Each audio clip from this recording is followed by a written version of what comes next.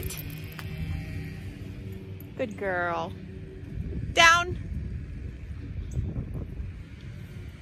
Good girl.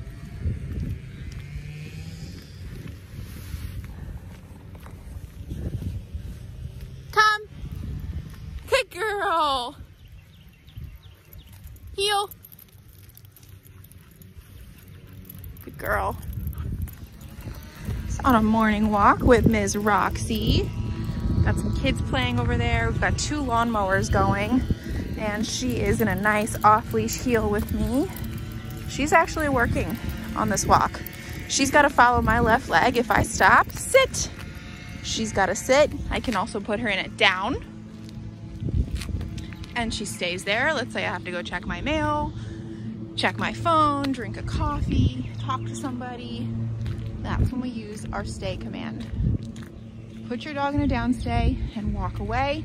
It's a really good impulse control exercise. I can even take it a step further and ask for a double down. Down. That means total relaxation, total disengagement. She can stay there however long you want her to. Got all kinds of.